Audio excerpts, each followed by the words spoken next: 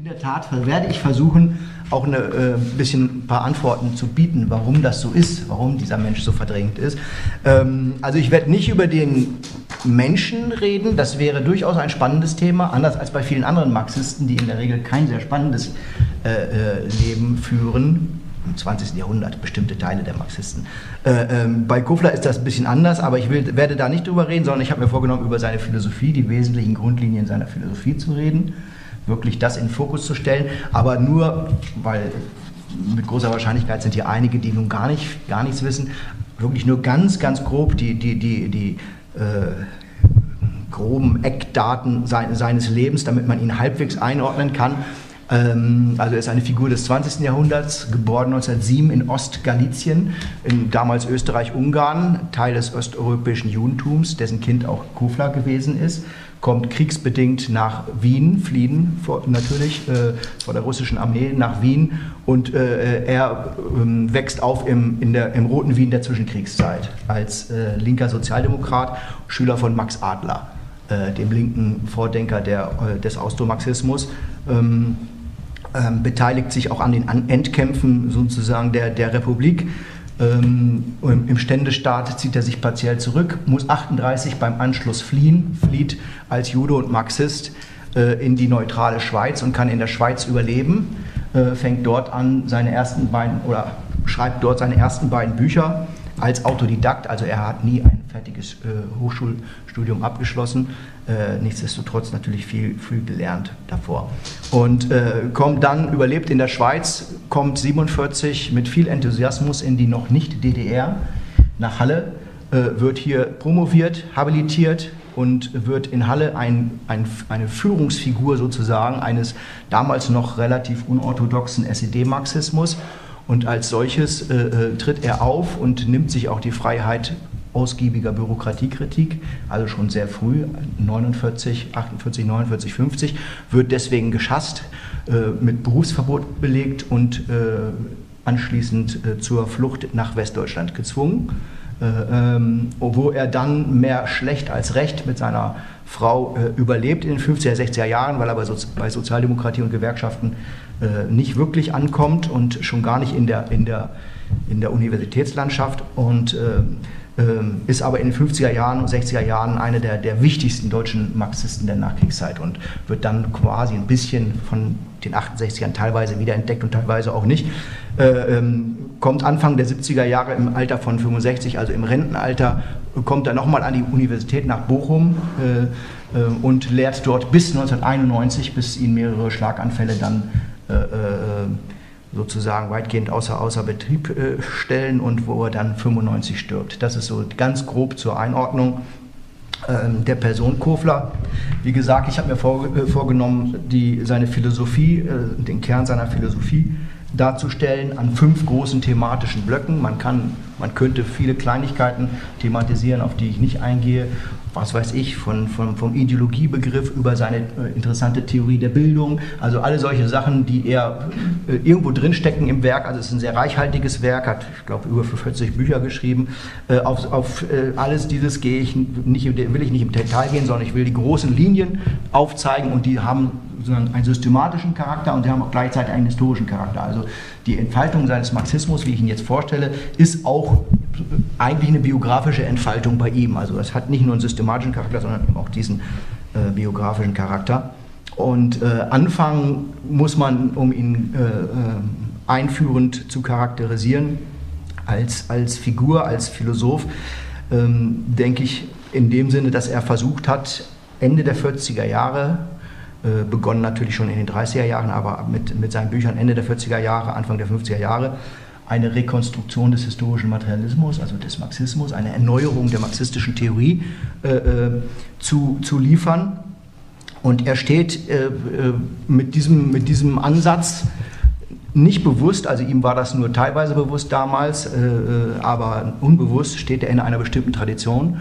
Und das ist die Tradition der 30er, 40er Jahre, als es ein, äh, ein, so der sogenannte westliche Marxismus aufkommt, also eine intellektuelle Erneuerungsströmung, der Versuch, ähm, den Marxismus so ein bisschen von seinen, von seinen sozialdemokratischen und seinen stalinistischen Tendenzen der 20er, 30er Jahre wieder zu befreien, ein Stück weit. Also von den äh, großen Figuren auf der einen Seite des, des Kautskis Marxismus, der prägend wurde für die Sozialdemokrat, den sozialdemokratischen Marxismus, auf der anderen Seite natürlich den stalinischen Marxismus, den Marxismus-Leninismus.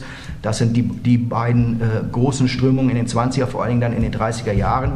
Dagegen äh, äh, formieren sich einzelne Intellektuelle, und zwar europaweit, äh, Figuren, die man heute kennt, Ernst Bloch, ähm, Herbert Marcuse, Horkheimer Adorno, Henri Lefebvre und Jean-Paul Sartre in Frankreich äh, und viele andere, die dazu nennen werden. Das sind alles Figuren, die in der Regel in den 30er Jahren begonnen haben, am Rande der Strömung und, und teilweise auch ganz allein so äh, sich um marxistische Philosophie zu, zu kümmern und diese zu versuchen zu erneuern. Und in diesem Kontext, man, was man später dann den westlichen Marxismus äh, genannt hat, steht auch, auch Kofler, äh, auch da nur ganz knapp gesagt, äh, inhaltlich kennzeichnet diesen westlichen Marxismus, dass äh, man auf den jungen Marx zurückgreift. Anfang der 30er Jahre werden die berühmten Pariser Manuskripte, der sogenannte humanistische Marx, entdeckt. Äh, ähm, darauf stürzen sich diese, diese, diese relativ jungen Intellektuellen damals und natürlich auf die Wiederentdeckung von Hegel. Hegel war eine persona non grata im sozialdemokratischen und auch im stalinistischen Marxismus. Äh, ähm, und damit verbunden natürlich die Wiederentdeckung, vor allen Dingen, wofür Hegel steht, natürlich der Dialektik, ähm, also der, der sogenannten Subjekt-Objekt-Dialektik.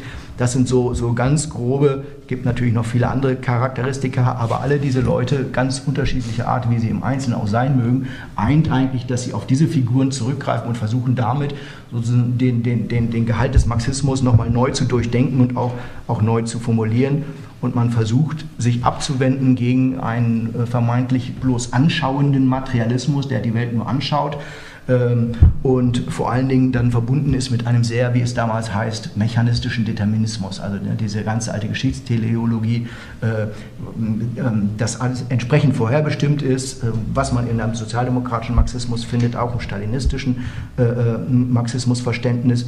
Und hier wird versucht, eben, die, was man später auch ein bisschen, nicht ganz elegant, aber versucht mit dem, mit dem Begriff des subjektiven Faktors wieder zurückzuführen in den Marxismus.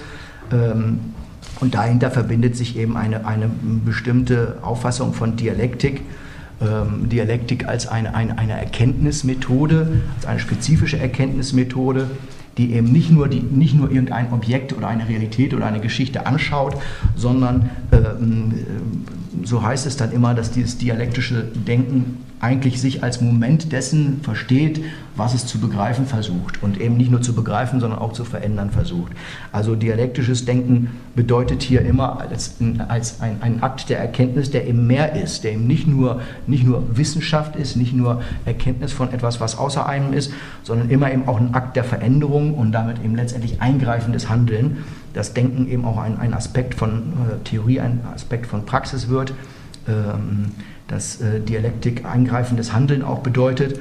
Und äh, das kann man eben ähm, von heute aus betrachtet auch rubrizieren. Das ist hier ein, ein Marxismusverständnis, ähm, wie es dann, dann genannt wird, der Praxisphilosophie. Also es ist eine Philosophie, die eben nicht vergisst oder, oder, oder die eben mehr sein will als nur Philosophie im, im klassischen alten Sinne der Aufhebung der Philosophie, also im klassischen alten marxistischen Sinne.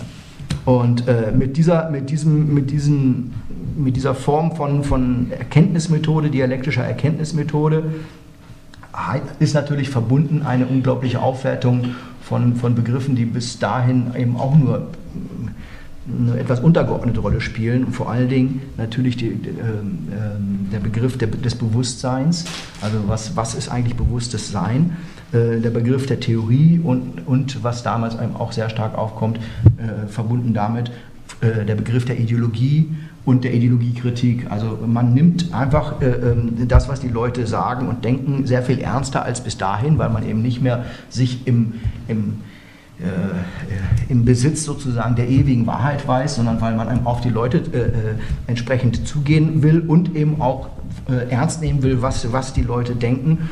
Und ähm, da man ja als Marxist weiß, dass das nicht nur, aber viele eben auch in Form von Entfremdung äh, leben in diesen Gesellschaften, ist es immer eben verbunden mit einer Form von Kritik, von Ideologiekritik. Und ähm, da beispielsweise Horkheimer, Adorno wären natürlich die klassischen Vertreter dann einer, einer modernen Ideologiekritik. Also da hat man das drin. Das hat man aber eben bei all diesen genannten Figuren eigentlich mehr oder weniger immer dabei, auch bei Leo Kofler. Und äh, um sozusagen seine, seine Sicht auf diese, diese, den Kern von, von Dialektikverständnis, von Subjekt-Objekt-Dialektik äh, sozusagen zu veranschaulichen, hier nur ein, ein ganz kurzes Zitat. Für Kofler äh, äh ist eben, also Kofler versteht unter der Subjekt-Objekt-Dialektik Zitat, eine Beziehung, in der die subjektive Tätigkeit ebenso Bedingung für das Entstehen der objektiv gesetzlichen Gegebenheiten ist, wie auch umgekehrt die objektive Gesetzlichkeit Bedingung für die subjektive Tätigkeit. Also das soll nur andeuten, in welche Richtung dieses dialektische Denken äh, äh meint gehen zu müssen. Äh, und wie gesagt, äh, das hat Kofler mehr oder weniger gemein mit vielen dieser anderen sogenannten westlichen Marxisten. Aber äh, fast alle dieser westlichen Marxisten haben eigentlich individuelle Noten oder besondere Duftmarken hinterlassen. Also das ist ja nur jetzt ein ganz grobes Feld, was ich aufgetan habe. Das ist ja eigentlich noch viel weiter. Und jedes Individuum hat eigene Sachen dann vertieft und besonders betont. Und wenn man fragt, was hat eigentlich Kofler besonders betont in diesem Kanon, was zeichnet ihn besonders aus, dann kann man sagen, dass seine Originalität eben in der Betonung der Rolle des Bewusstseins in der Geschichte liegt. Ähm, und äh, zwar eben nicht des Bewusstseins ganz allgemein, sondern, wie er das dann später immer äh, besonders betont, der Bewusstseinsbegabung der Bewusstseinsbegabung des menschlichen Wesens. Das ist, das ist ein, ein, ein, ein theoretischer Kernpunkt, der, der äh, sehr originell für ihn ist, ähm, den er allerdings, das kann man in, in Klammern sagen, äh, auch nicht aus, aus seinem Kopf heraus geboren hat, sondern das hat er von seinem eigentlichen Lehrer, von Max Adler. Max Adler ist auch ein sehr verkannter oder, oder vergessener, in dem Sinne verkannt auch, aber eben vor allen Dingen ein vergessener äh, äh Linksphilosoph der 20er, 30er Jahre. Wie ich hatte das schon angedeutet, Kofler war direkt in Wien ein Schüler von ihm und äh, ähm, er hat von, von Adler diese Rolle, äh, die Betonung dieser Rolle des Bewusstseins mehr oder weniger übernommen. Ähm, die allerdings in der Philosophiegeschichte auch recht umstritten ist. Aber ähm, da ist er Schüler seine, seine, seines Max Adler und er hat das eigentlich versucht, dann äh, in vielem ähm, äh, weiter auszuarbeiten. Äh, und auch da sozusagen ein kurzes Zitat von Kofler, um, um klarzumachen, was, was sich hinter dieser Betonung des Bewusstseins oder der Bewusstseinsbegabung ver, äh, verbirgt. Zitat Kofler. Der praktisch tätige Mensch kann nicht anders gedacht werden, denn als ein mit Hilfe seines Kopfes tätiger, das heißt also bewusstseinsbegabter Mensch. Die Fähigkeit, durch das Bewusstsein hindurch zu agieren, heißt aber nichts anderes als die Fähigkeit, sich bestimmte Ziele zu setzen und auf die Erreichung dieser Ziele hinzuarbeiten. Und für Kofler, äh, weiterer, weiterer äh, kurzer Satz, kann es deswegen keine einzige Seite des gesellschaftlichen Lebens geben, keine Beziehung und keine Tätigkeit, die nicht durch das Bewusstsein hindurch, und das betont er dann nochmal, hindurch, Ausrufezeichen, sich gestaltet. Das ist sozusagen ein ganz typisch zentrales äh, äh, Zitat von ihm. Gemeint ist damit natürlich nicht, dass äh, er sagt, dass Geschichte vom Be Bewusstsein gemacht wird. Das ist die klassische idealistische Position, sondern er betont immer wieder, es wird durch das Bewusstsein hindurch gemacht. Also das heißt einfach, Geschichte passiert nicht ohne Bewusstsein. Und darüber muss man reflektieren, über dieses Bewusstsein weil es gibt natürlich verschiedene Formen Bewusstsein. Klassischerweise im Marxismus richtiges, falsches Bewusstsein, da sind wir wieder bei der Ideologiekritik. Also hier äh, nur die Betonung, äh, Geschichte wird nicht ohne Bewusstsein gemacht und man muss sich darüber Rechenschaft ablegen, was denken die Leute, was wollen die Leute, ist das richtig oder nicht richtig, wie kann man daran anknüpfen oder nicht. Und äh, insofern trifft natürlich der damals dann sehr vehement äh, vorgetragene Vorwurf gegen Kofler, vor allen Dingen natürlich vom SED-Marxismus, in dem er sich in der Zeit bewegt hat, dass er eben ein Idealist äh, sei, natürlich nicht zu. Äh, meines Erachtens äh, tritt es nicht zu, aber das war eben einer der, der Vorwürfe gegen ihn. Ähm, das nur so als, als, als grobe, grobe, äh, grober Ansatz seines Marxismusverständnisses. Ähm, äh, Kofler entwickelt dann im Laufe der 50er Jahre darauf aufbauend seine eigentliche Originalität, mit der man ihn dann heute in der Regel auch in Verbindung bringt. Das folgt aber aus, dieser, aus diesem Grundverständnis. Kofler versucht sich nämlich in den 50er Jahren an, einem, an einer marxistischen äh, Anthropologie oder an einer Grundlegung einer marxistischen äh, Erkenntnistheorie von Anthropologie. Und ähm, das wäre ein eigenes, ein, durchaus ein eigenes Thema, deswegen auch nur hier angedeutet. Also Kofler ist, äh, ähm, versucht, ähm, sozusagen eine marxistische Sichtweise auf die Anthropologie, auf die philosophische Anthropologie zu, zu äh, formulieren und erfasst sie. Das, damit ist er durchaus bei den wenigen, die sich um solche Fragen kümmern, äh, positiv rezipiert worden. Er fasst äh, dieses sein Verständnis als, hm, das ist so sein Begriff davon, ähm, als Wissenschaft von den unveränderlichen Voraussetzungen menschlicher Veränderung. Also Anthropologie heißt für ihn die Wissenschaft von den unveränderlichen Voraussetzungen menschlicher Veränderung. Da steckt da, da, in diesem, da, in der Clou steckt da drin, wenn man sich das auf der Zunge zergehen lässt, kann man es glaube ich erahnen. Äh, das heißt, äh, er gehört natürlich auch zu den Marxisten, die sagen, die anthropologischen Grundlagen des Menschen bestimmen natürlich nicht seine Geschichte. Aber äh, äh, ähm, der Mensch hat Geschichte, weil es anthropologische Grundlagen des Menschen gibt. Das ist eine kleine, eine feine, aber eine, eine, eine, eine treffende Nuance und erfasst deswegen eben die Anthropologie eben nicht als Gesellschaftswissenschaft, also das, was Gesellschaft erklären kann, was Geschichte erklären kann, sondern für ihn ist das eine, ist diese philosophische Anthropologie eine, eine so eine Art Metatheorie des Marxismus oder eine Art Hilfswissenschaft des, des Marxismus. Also es ist eine eigene Form, eine formale Anthropologie, die eben nicht der direkten Anleitung zum Handeln dient, wie das so schön immer im Marxismus heißt, äh, ähm, äh, aber nichtsdestotrotz wichtig für ihn ist. Warum ist sie wichtig? Auch das äh, natürlich vollkommen verkürzt hier. Diese Grundlegung einer philosophischen Anthropologie ist für ihn vor allen Dingen aus zwei Gründen wichtig. Dass, also dass, dass sich Marxisten darum kümmern sollen. Zum einen sagt er, alle bürgerliche Sozialphilosophie, alle, eigentlich alle menschliche Sozialphilosophie, wenn man nur lange genug darüber nachdenkt, arbeitet mit, mit, Bildern vom Menschen, mit Menschenbildern, mit dem Verständnis, wie der Mensch ist. Und äh, entsprechend müssen Marxisten äh, sich auch darum kümmern, weil äh, auch nicht nur, nicht nur in, der, in der Wissenschaft, sondern selbst in der Politik, im Alltag, eben mit diesen Menschenbildern Politik betrieben wird. Es gibt also bürgerliche Menschenbilder sehr unterschiedlicher Art, die versucht er dann auseinander zu, zu, zu äh, ähm, zu untersuchen. Und er sagt, äh, in der Regel sind es sehr repressive Menschenbilder.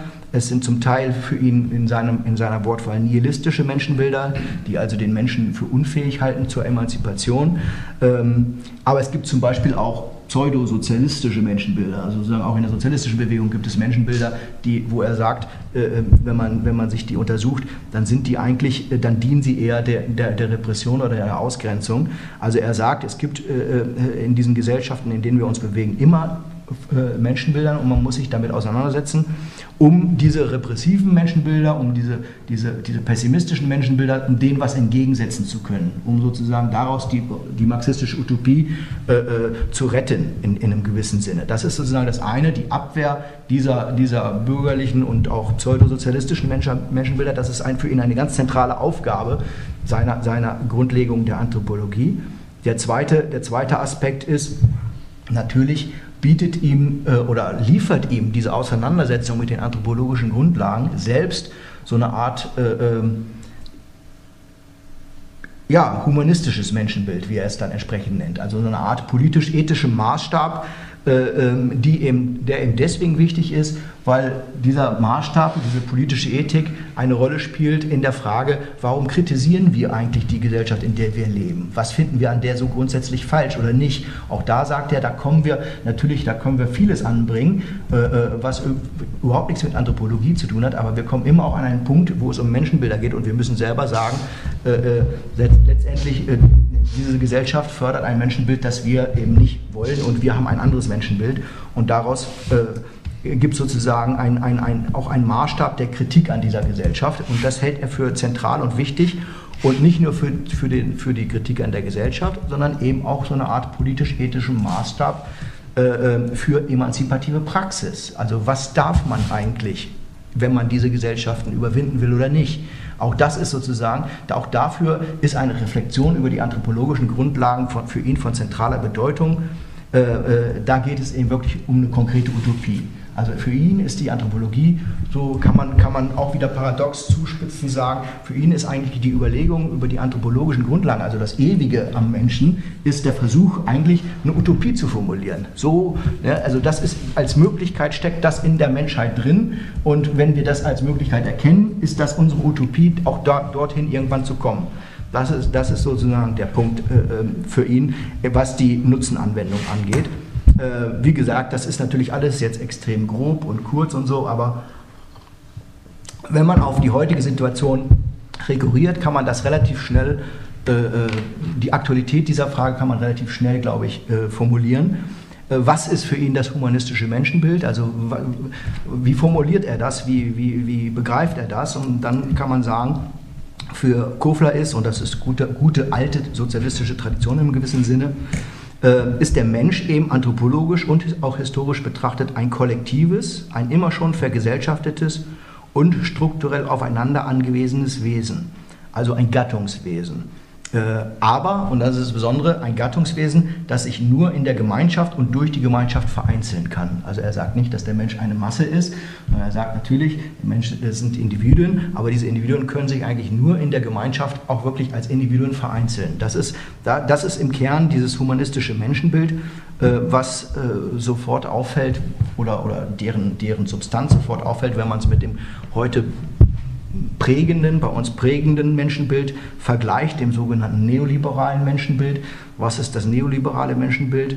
Da im neoliberalen Menschenbild ist der Mensch eben der flexible, mobile, universell verfügbare und allzeit bereite einzelne Mensch, die berühmt-berüchtigte Ich-AG, äh, das vereinzelte Individuum als Unternehmer und Einzelkämpfer, der seine individuellen Ressourcen im Wettlauf der Warenförmigkeit gegen andere mobilisiert.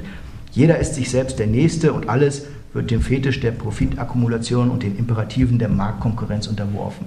Das ist im Kern eigentlich das Bild, was man, kann man runterdeklinieren heute in, in, in wissenschaftlichen Diskussionen, aber auch in politischen Alltagsdiskussionen. Und äh, wenn man diese beiden Menschenbilder gegeneinander steht, dann hat man sofort eigentlich äh, die, die, die, die Aktualität und die Substanz, so nicht nur die theoretische, sondern auch die politische Substanz. Das äh, sozusagen als Grundlegung zum, zum, zum ersten Bereich. Der zweite Bereich, also zum, zum Marxisten, zum, zum marxistischen Erneuerer. Äh, Kofler war aber eben nicht nur ein, ein marxistischer Philosoph, ein, ein, ein Neuerer der marxistischen Theorie. Kofler war, und das ist das, der zweite Punkt, äh, äh, hat versucht, eben diese, diese Methodologie, an der er gearbeitet hat, diese marxistische Theorie, eben auch auf die Geschichte anzuwenden. Das heißt, er hat sich auch als Historiker äh, äh, äh ja, wie soll man sagen, versucht. Hat sich auch als Historiker versucht, hat ein dickes Buch geschrieben, das ist eigentlich sein bekanntestes Buch zur Geschichte der bürgerlichen Gesellschaft. Äh, ähm, Ende der 40er Jahre hier in der DDR erschienen, der, hier sozusagen im Osten, sorry, hier im Osten äh, Deutschlands erschienen, damals in der, in der gerade, nee, noch nicht ganz DDR, ja, stimmt. Ähm, das heißt, er hat sich eben auch als Historiker der bürgerlichen Gesellschaft äh, formuliert, äh, versucht und wenn man sich anguckt, dieses Buch, dann, dann findet man da diesen marxistischen Theoretiker äh, sehr schnell drin wieder, weil das Besondere an diesem Buch ist nicht nur, dass es irgendeine Geschichte vom Mittelalter bis Anfang des 20. Jahrhunderts erzählt, wie ein klassischer Historiker, sondern es versucht, äh, ähm, diese, diese Geschichte unter einem bestimmten Blickwinkel zu schreiben, nämlich äh, äh, ähm, dem des der Geistesgeschichte oder der Ideengeschichte.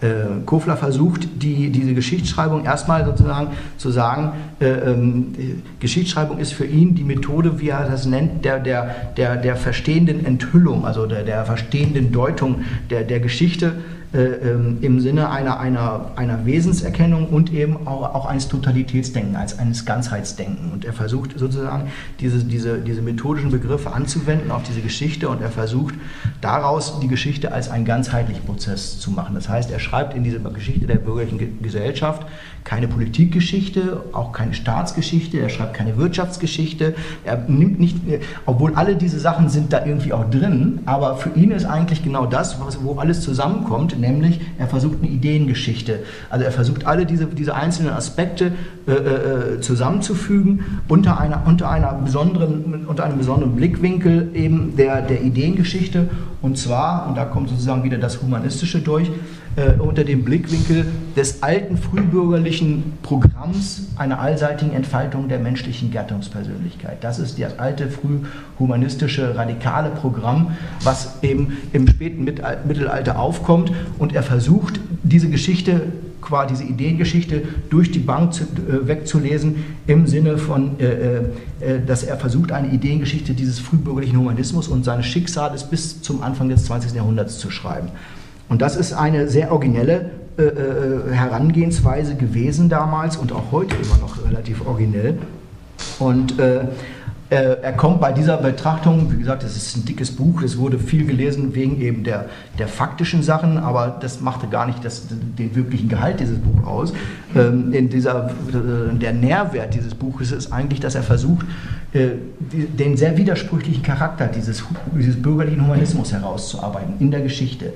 Also sozusagen, er versucht auf der einen Seite zu zeigen, dass dieser frühbürgerliche Humanismus ein unglaublicher weltgeschichtlicher Fortschritt gewesen ist, weil er zum ersten Mal in der Geschichte der Menschheit die Individuen programmatisch befreit hat. Er hat gesagt, ne, das Individuum muss sich frei machen von allen Zwängen persönlicher Abhängigkeit, von, von, von, von traditioneller von, von traditionellen Hierarchien und so weiter. Das ist ja das alte frühbürgerliche Programm ähm, und das bürgerliche Freiheitsversprechen, das nimmt er ernst. Er sagt, das ist, das ist ein wirklicher welthistorischer Fortschritt, das muss man, das muss man Lob preisen, das ist, äh, da äh, kann er sich gar nicht genug drüber äh, entsprechend auslassen. Doch gleichzeitig, und das ist eben das andere Originelle bei ihm, zeigt er eben gleichzeitig auf, äh, dass eigentlich schon von Beginn an seit dem Aufkommen dieses frühbürgerlichen Humanismus, dieser Humanismus äh, einen blinden Fleck hat, ein, ein, ein wirkliches Loch und dass das historisch-politisch äh, eine große Rolle gespielt hat, hat dann in der, in der weiteren Geschichte, nämlich die unkritische und affirmative Haltung des Bürgertums gegenüber dem Privateigentum. Äh, im Weit, also natürlich nicht das, dem einzelnen, sondern dem Privateigentum an gesellschaftlichen äh, Produktionsmitteln.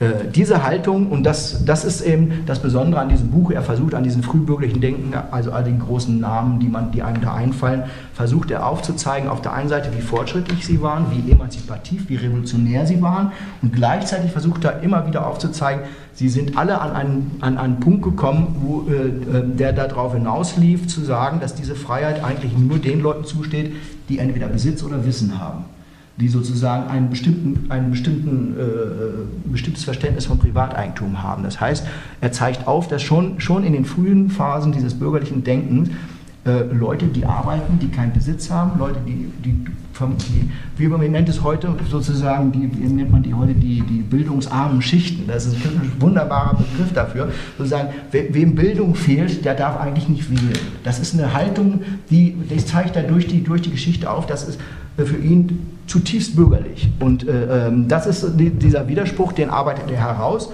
sehr, sehr treffend. Und äh, er sagt, äh, Sozialisten und Marxisten haben genau diesen Widerspruch aufzudecken und weiterzutreiben.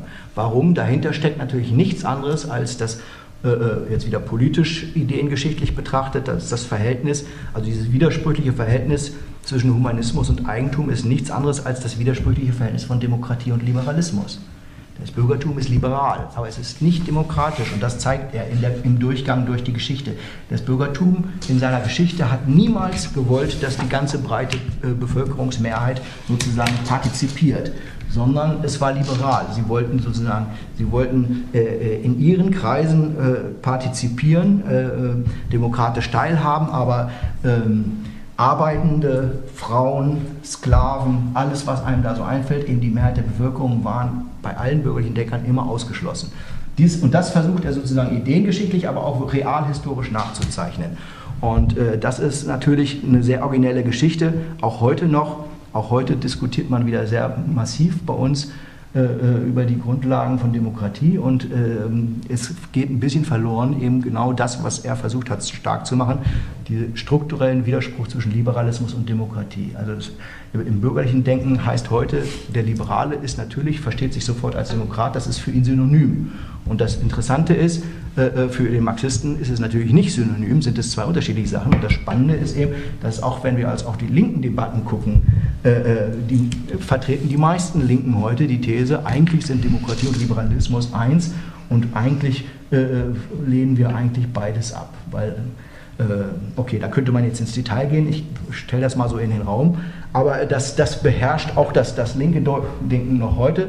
Und ähm, führt natürlich zu bestimmten äh, durchaus negativen Konsequenzen.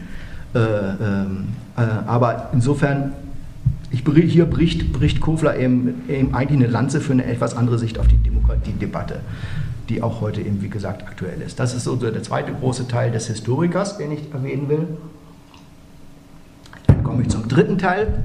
Und äh, er war eben nicht nur marxistischer Methodologe und auch nicht nur marxistischer Historiker, hat also nicht nur versucht, das auf die Geschichte anzuwenden, sondern er hat es versucht, auch auf seine Gegenwart anzuwenden. Das heißt, er hat sich auch als äh, Kritiker des in den 50er Jahren aufkommenden Neokapitalismus äh, äh versucht, als äh, ähm, Kritiker eben nicht nur dieses Neokapitalismus, dieses Konsumkapitalismus, dieses sozialstaatlichen Konsumkapitalismus, der dann aufkommt, sondern eben auch der diesen Kapitalismus tragenden, sogenannten, damals von ihm sogenannten spätbürgerlichen Ideologie. Also er hat versucht, diese historischen äh, Analysen eben auf die Gegenwart äh, anzuwenden, auf die wie es er immer genannt hat oder wie er und viele andere es genannt haben. Heute haben wir natürlich eine etwas andere Perspektive auf die spätbürgerliche Klassengesellschaft. Spät kann man heute nur noch ein bisschen mit ironischem Unterton sagen, weil äh, hat jetzt auch schon wieder 60 Jahre weitergelebt. Äh, also er versucht eigentlich in mehreren Schriften diese, diese neuen Phänomene des, des Neokapitalismus zu analysieren. Ähm, ich will das gar nicht groß, ich will in diesem Teil gar nicht groß ins Detail gehen, obwohl er dazu viel geschrieben hat. Aber ähm, das ist eher das, was, was man am ehesten noch kennt, weil es da hier sehr große Parallelen gibt zwischen Koflers Schriften und den einschlägigen Schriften, die man so mal irgendwann auch schon in der Schule kennengelernt hat, beispielsweise von Herbert Marcuse über die eindimensionale Gesellschaft, über den Spätkapitalismus. Also diese, diese äh, äh die großen Thesen, die arbeitet auch Kofler raus. Allerdings muss man immer in Klammern zufügen, immer so vier, fünf Jahre vor den anderen, also vor Marcuse, interessanterweise, äh, ohne dass das irgendwann wahrgenommen wurde. Aber letztendlich geht es bei, bei, dieser, bei, bei dieser Ideologiekritik immer darum, also er versucht, das, das neue Verhältnis von Konsens und Zwang in der bürgerlichen Gesellschaft nach 45 zu machen. Vorher war, war die bürgerliche Gesellschaft, also die Unterdrückung und Ausbeutung war, lag offen zutage. Ne? Es gab eine revolutionäre Arbeiterbewegung, das war denen selbstverständlich klar mit Klassenbewusstsein. Das ist alles nach 45 nicht mehr der Fall. Und äh, hier beginnt offensichtlich äh, ähm, das Verhältnis von Konsens und Zwang sich zu verändern. Also die, die Leute leben in der bürgerlichen Gesellschaft nicht mehr in erster Linie aus Zwang, aus Unterdrückung und entsprechend wider, wider äh, Willen, sondern sie, finden das eigentlich, die meisten finden das gut und äh, stimmen dem irgendwie zu. Das ist mit dem Konsens genannt. Ähm, das heißt, hier beginnt die Diskussion, die man aus anderen marxistischen Debatten kennt, äh, Hegemoniediskussion. Also der Begriff der Hegemonie beginnt in den 60er Jahren äh, äh, en vogue zu werden. Warum? Weil eben sich etwas verändert hat in dieser Gesellschaft, in der bürgerlichen Gesellschaft, weil äh, die Zustimmung der, der Beherrschten nicht mehr nur wesentlich über Zwang läuft, sondern mittlerweile eben auch über den Konsens. Und das untersucht auch Kofler sehr detailliert, sehr fein und äh, ähm, beschreibt eigentlich wie viele andere eben dass natürlich es neue Konsummöglichkeiten gibt, neue Freiheiten, äh, Sachen, die er durchaus ernst nimmt, all das. Also es gibt wirkliche Fortschritte, aber gleichzeitig versucht er immer wieder zu betonen, äh, äh, diese Fortschritte werden natürlich erkauft mit einer eben freiwilligen Integration in diese Gesellschaftsverhältnisse, damit, dass, dass man nur konsumieren kann, wenn man vorher lange Zeit mal asketisch gearbeitet hat und auch nachher wieder dann wieder asketisch wird. Also Konsum ist nie etwas Durchgehendes, sondern wechselt sich ab und man verzichtet eben, um sich etwas leisten zu können und man leistet sich dann wieder was mit, dem, mit der Konsequenz des folgenden Verzichts. Also letztendlich sagt er, es gibt hier viele Fortschritte, die zu, zu, äh, zu äh, verzeichnen sind, aber es ändert sich nichts am grundsätzlichen Charakter dieser Gesellschaften am grundsätzlichen Klassencharakter dieser Gesellschaften. Es gibt auch in diesen Gesellschaften oben und unten, es gibt Leute, die hochkommen und die meisten, die nicht hochkommen, äh, äh, solche Sachen und immer diese, die Form von ja, individueller Rationalität, mit der nun in dieser Konsumgesellschaft gelebt werden kann, ist immer noch und äh, zwangsläufig eben verbunden mit, mit kollektiver Irrationalität. Das heißt, die Gesamtgesellschaft läuft in eine ganz andere Richtung, als, als die Individuen das vielleicht mögen und, und auch äh, ähm, wollen. Und äh, er versucht also hier äh, diese, eigentlich diese bürgerliche humanistische Sozialphilosophie weiter zu verfolgen und stellt fest, es verändert sich nach 45 da etwas grundlegend. Obwohl er ja schon vorher von dieser Widersprüchlichkeit immer geredet und auch die herausgearbeitet hat, sagt er, äh, ähm, das Bürgertum beginnt nun etwas, äh, äh, ähm, was in, in der Qualität, Qualität neu ist, nämlich es lässt eigentlich alle diese alten Traditionen von, von äh, bürgerlichem Humanismus fallen, grundsätzlich fallen. Ähm, und er sagt, dass dieser Konsens, der jetzt herrscht in dieser Gesellschaft, ist kein Konsens, dass sich alle gleich sind, in dem Sinne, dass das nun äh, Gesellschaften sind, die als Ziele anzuvisieren sind, sondern der neue Konsens ist eigentlich ein negativer Konsens. Man ist sich eigentlich nur einig, dass man alles andere nicht will. Aber das, was man hat, äh, ist nicht mehr, ist, ist kein positives Ziel. Und äh, ähm, er versucht also hier zu beschreiben, die, diese Entwicklung des bürgerlichen Humanismus weiterzuschreiben. Und auch hier ein, ein kurzes Zitat von ihm ähm, von 1960, also wo er sagt eigentlich, äh, diese alte Idee der, der allseitigen Entfaltung der menschlichen Gattungspersönlichkeit wird nun endgültig eben auch, auch als Philosophie, auch als politische Idee fallen gelassen. Äh, und in diesem Konsumkapitalismus ähm, ist, hat sich eben etwas auch ideengeschichtlich grundsätzlich verändert. Und zwar, Zitat, die Welt ist für das Bürgertum nur noch nützlich, äh, profiterträglich, sonst ist sie leer und sinnlos geworden. Die übrig gebliebene, gebliebene Freiheit ist nicht mehr die Freiheit, Ideale zu verwirklichen und den Menschen zu erhöhen. Wer dies noch will, wird verdächtig, Ausrufezeichen, sondern die Freiheit der Konkurrenz, des Urwalds. Im Grunde ist alles erreicht, es hat Geschichte gegeben, aber es gibt in Zukunft keine mehr. Zitat Ende, Kofler 1960. Äh, wer sich ein bisschen auskennt in der damaligen Zeit, das, da beginnen die Debatten vom sogenannten Ende der Ideologie, vom Ende der Geschichte. Das versucht er schon hier sehr früh auf den Punkt zu bringen und sagt, wir sind offensichtlich nach Faschismus und nach Stalinismus, also mit dem Aufkommen dieses Neokapitalismus, an einem Punkt angelangt, wo eigentlich auch im Bürgertum niemand mehr daran glaubt, dass es irgendwelche positiven Ziele gibt, die über diese Gesellschaft hinaus noch, noch zu vertreten seien. Das ist eben äh, das ist die, die Konsequenz seiner, seiner Analysen und die ist für ihn natürlich deswegen wichtig und da kommt der Bezug wieder zu, auch zur Anthropologie zurück, äh, weil er sagt, nun beginnt das bürgerliche Denken nicht nur das fallen zu lassen, sondern sie müssen das ja irgendwie begründen.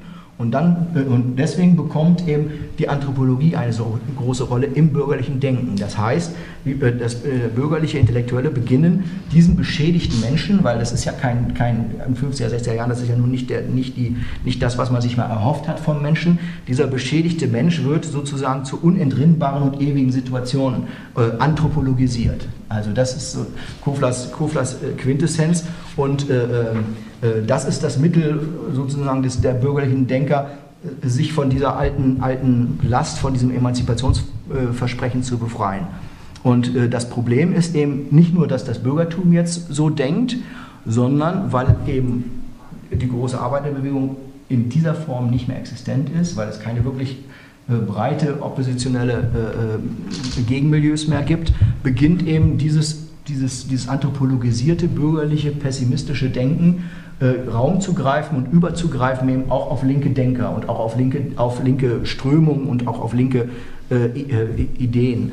Und äh, er sieht also diesen Pessimismus, diesen bürgerlichen Pessimismus in der, in der Ideengeschichte äh, nun die ganze Gesellschaft äh, ergreifen und eben auch auf Teile dieser entwurzelten und, und äh, ähm, ent, äh, desorientierten Linken überzugreifen. Und daraus leitet er eben ab, dass ein Marxist oder ein Sozialist oder ein sozialistischer Marxist oder marxistischer Sozialist, wie immer man das nennen will, nun besonders gehalten ist, diesen humanistischen Gehalt wirklich zu verteidigen, gegen das Bürgertum zu verteidigen. Und das ist natürlich etwas, was in den 50er, 60er Jahren bei Linken nicht unbedingt sehr en vogue gewesen ist. Also der Humanismus hat traditionell einen schlechten Ruf bei Linken und bei Marxisten.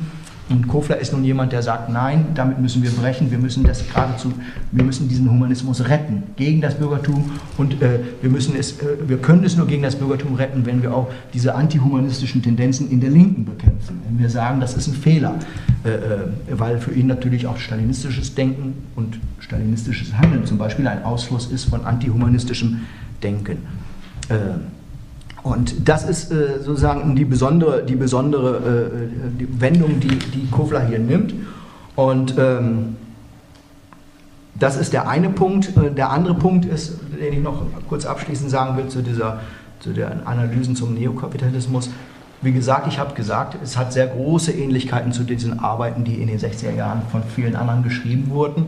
Äh, ähm, da gibt es sich nicht viel, aber in einem unterscheidet es sich dann doch.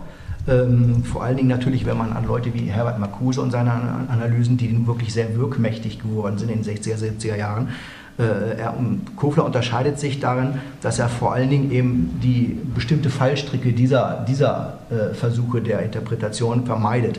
Also die Begriffe, ähm, wir sind damit groß geworden, die Begriffe der verwalteten Welt, der eindimensionalen Gesellschaft, des integralen Etatismus, alles interessanterweise Begriffe, die aus, der, aus dem Umfeld der Frankfurter Schule, also oppositionellen Denkern kommen, äh, die so ein herme etwas hermetisches Bild der geschlossenen, des geschlossenen Niedergangs machen. Da sagt er eben, äh, das ist falsch, das ist eben nicht richtig, das ist, das ist selbst ein Ausfluss von Pessimismus, wenn man das so sieht. Äh, ähm, ähm, und äh, er versucht das eben, anders zu formulieren, obwohl er die Phänomene, um die es da geht, durchaus beachtet. Also ne, Konsumismus, Bürokratisierung, Verstaatlichung, Oppositionslosigkeit, alle diese Phänomene untersucht auch Kofler, aber er sagt, es endet eben nicht in dieser, in dieser Form von Verzerrung, äh, äh, was viele Linke da behaupten.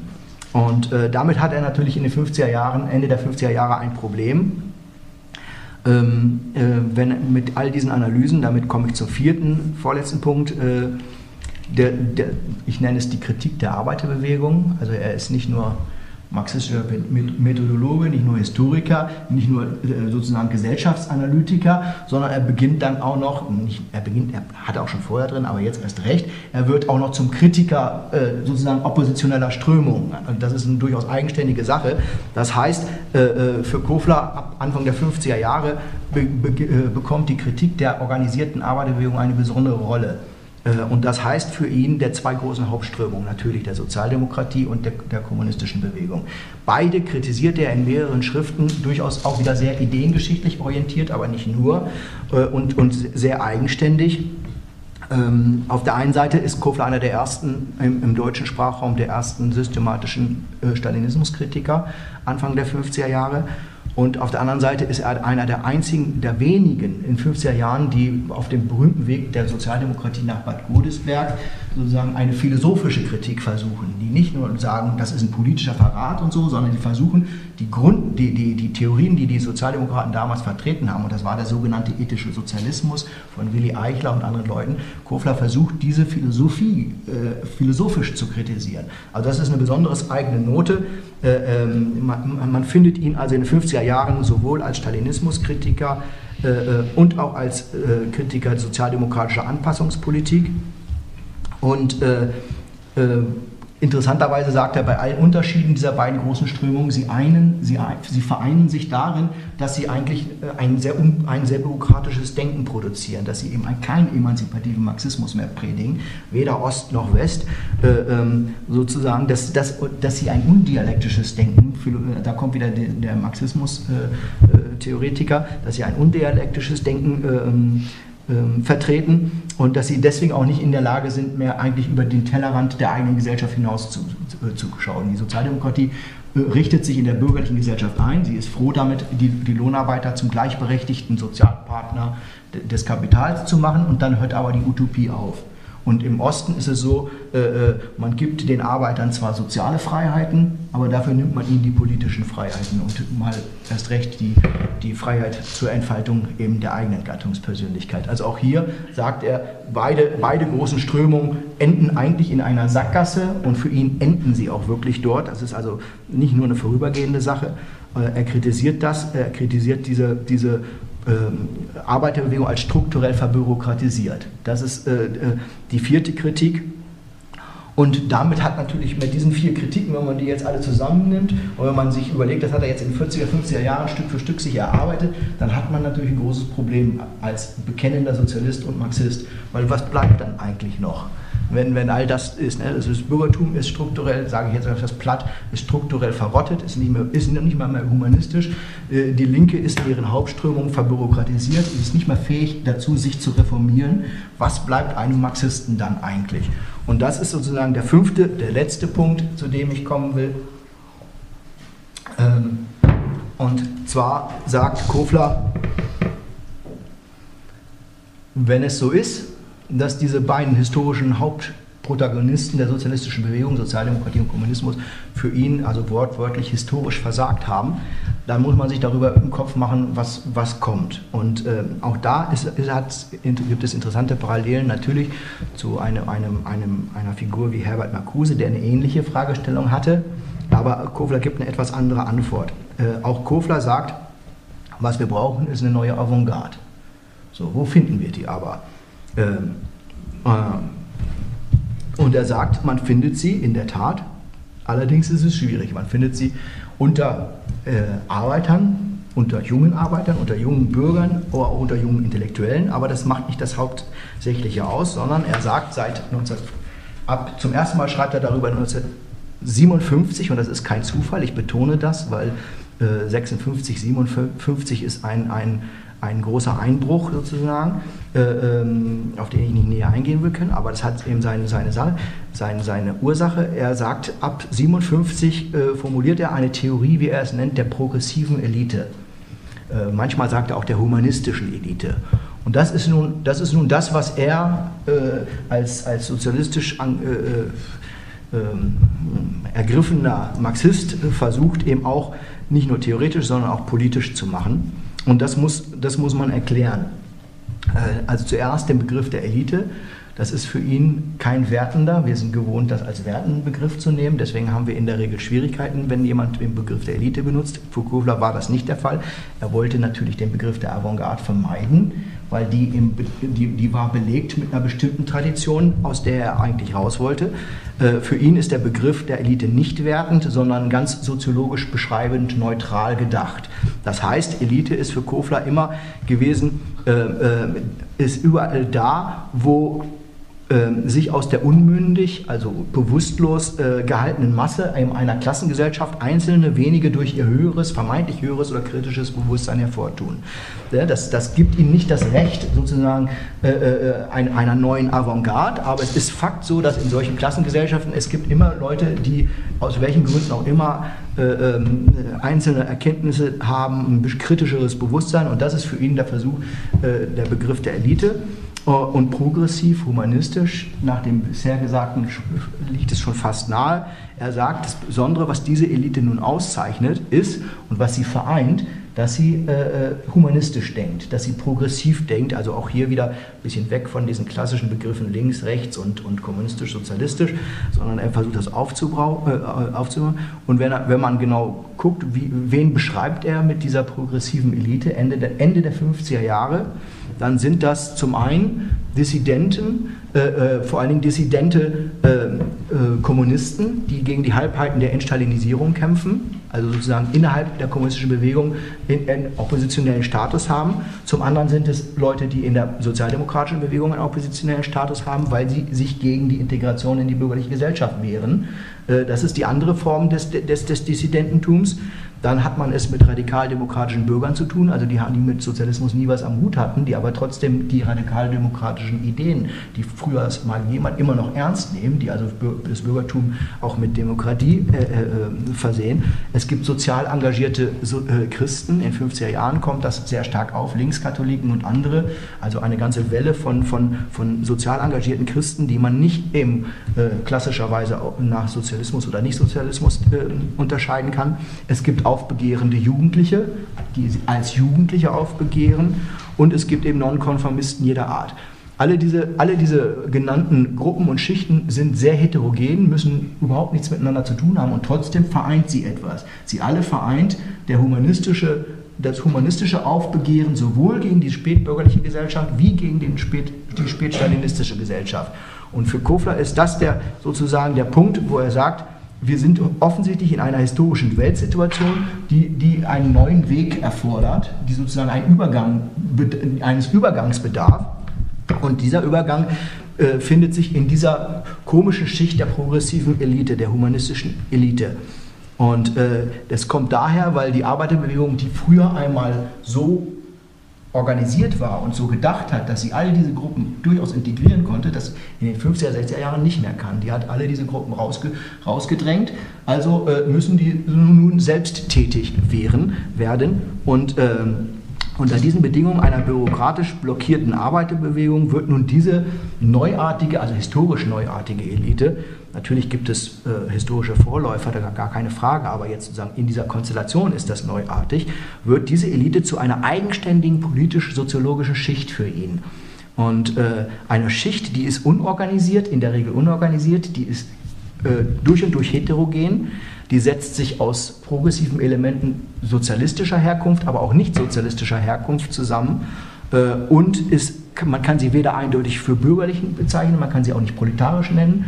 Ähm, es sind Leute, die an den, an den Rändern und in der Regel an den Rändern und Nischen der zivilgesellschaftlichen Organisationen stecken, in Volkshochschulen, in Gewerkschaften, alle in, in einer bestimmten, bis zu einer bestimmten äh, äh, Hierarchie. Ne? Wenn man je höher man kommt, dann geht das natürlich nicht mehr. Leute, die sich dort aufhalten, die aber irgendwie oppositionell äh, äh gesinnt sind ähm, und ähm, die durchaus unbeständig sind, die haben also kein festes Weltbild, kein gefestigtes Weltbild, ähm, sind widerspruchsvoll und sie sind auch in der Regel gesellschaftlich machtlos, alle diese Figuren. Und trotzdem sind sie da und für Kofler, und das sagt er ganz wörtlich, und trotzdem sind sie da und sie spielen historisch eine entscheidende Rolle.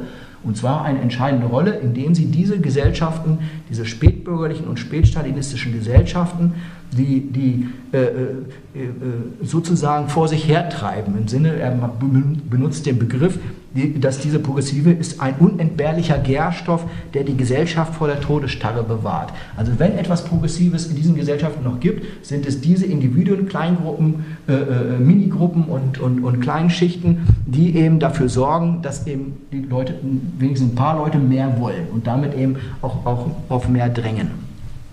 Er beschreibt das nicht sehr detailliert. Also es ist keine entfaltete Theorie, die er da, die, die er da vorlegt, aber doch, er macht es etwas äh, äh, detaillierter, als ich es hier jetzt darstellen kann. Er beschreibt sehr genau, wie, wie diese progressive humanistische Elite, durch, durch was für Widersprüche die, die äh, durchzogen ist, wie die hin und her schwankt zwischen Pessimismus und Optimismus, man, äh, sozusagen, und, und äh, zwischen Sektierertum und Opportunismus. Man findet alle, alle verschiedenen Sachen, findet man in diesen Gruppen. Äh, und ähm, äh, sie findet auch keine Einheit, also sie, es gibt keine politische Vereinheitlichung. Warum? Ist klar, weil sie eben keine soziale und auch keine politische Einheit ist.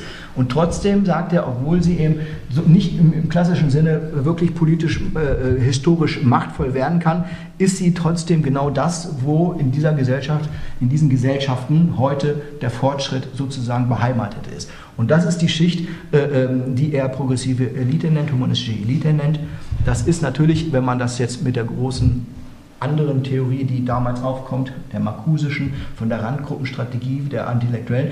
Das unterscheidet sich, das ist in vielem ähnlich, aber es unterscheidet sich dadurch, dass Kofler eben sagt, nein, es ist nicht nur die Jugend und es ist nicht nur die Jugend, die sich nun gegen alle Alten wenden soll, sondern man findet diese unterschiedlichen Figuren in allen, in allen Schichten und in allen Gruppen und äh, sozusagen, und die Aufgabe ist dieser, dieser Leute für ihn als, als Geschichtsdenker, ist eben ganz wesentlich, äh, nicht eine neue soziale Bewegung zu begründen, sondern eine, sozusagen die alte soziale Bewegung neu wieder zu, zu rekonstruieren. Also er sagt, solange es eine bürgerlich-kapitalistische Klassengesellschaft gibt, kann diese äh, äh nach allen marxistischen Erkenntnissen nur durch eine breite Arbeiterklassenbewegung äh, gestürzt werden.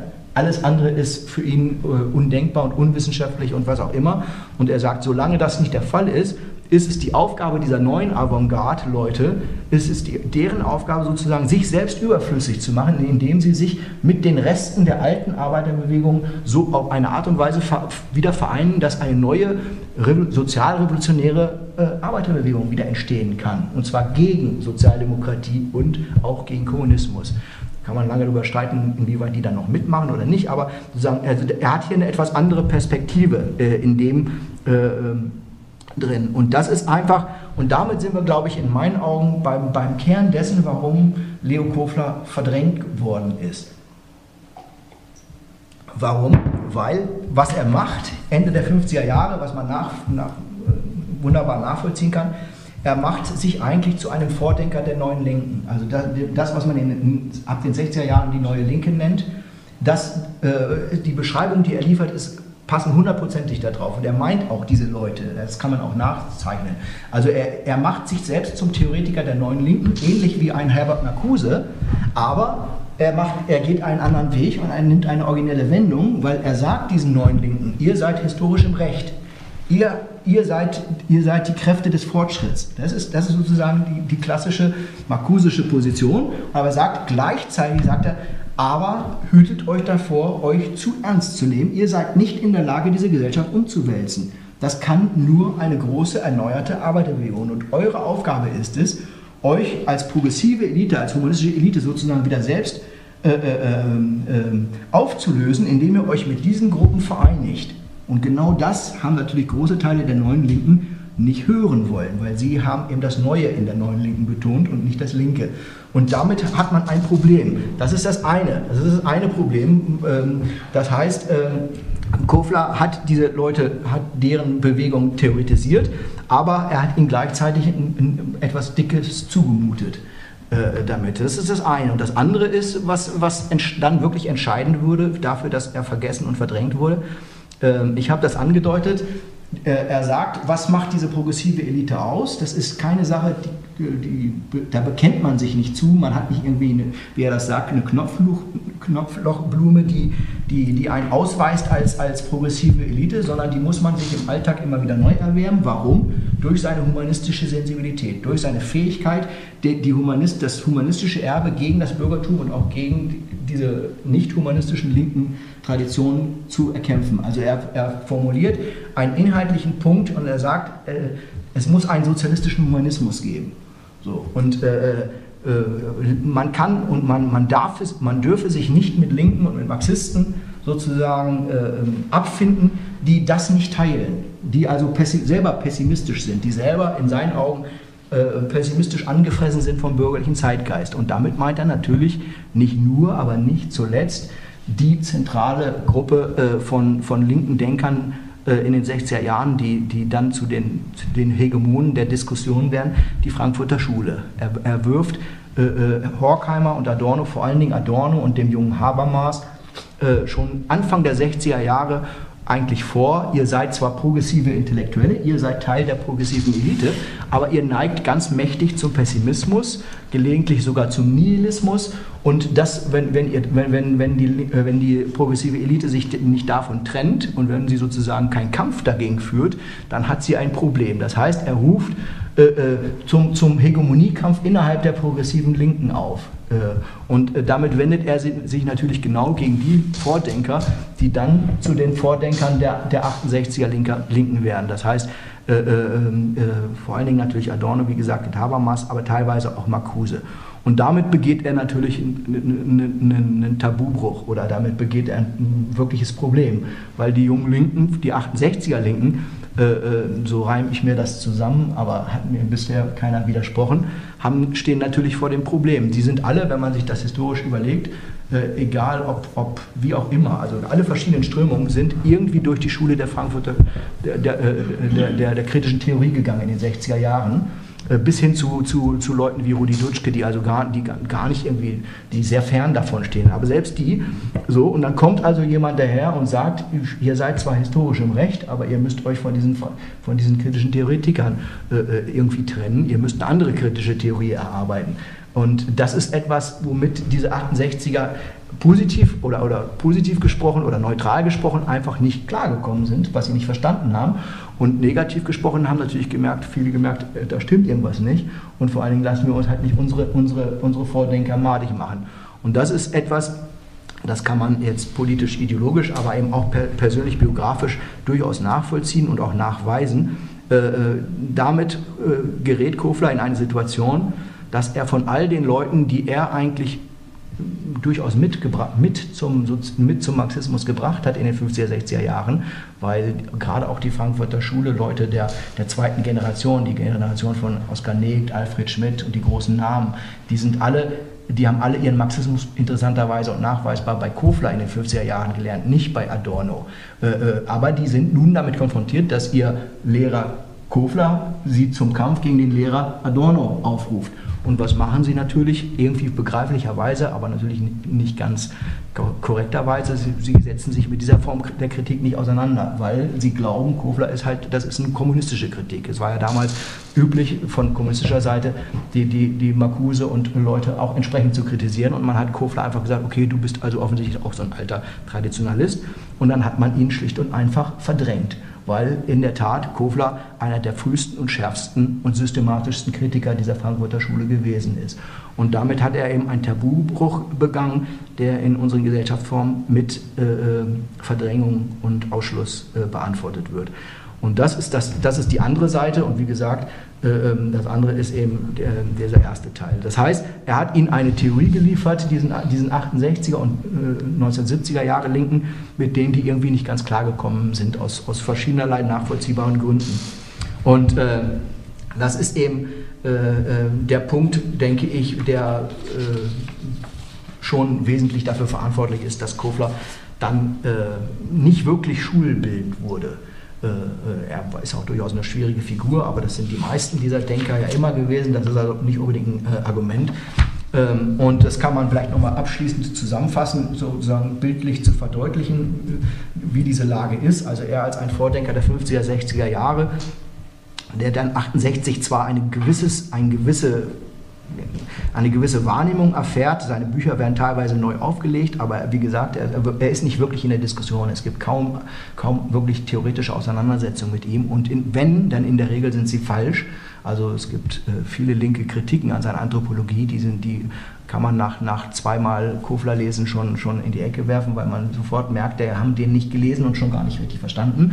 Also das ist nicht das Problem, aber er wird da nicht diskutiert und wenn man das jetzt nochmal versucht auf den Punkt zu bringen, äh, äh er hat eigentlich äh, äh eine, eine, eine ein, ein Theorieangebot, ein, eine, eine erneuerte marxistische Theorie den Leuten geboten äh, ähm, an ja, will ich nicht, will ich nicht zu, äh, äh, die aus historischen und auch aus inhaltlich programmatischen Gründen eigentlich von ihnen nicht wirklich angenommen werden konnte.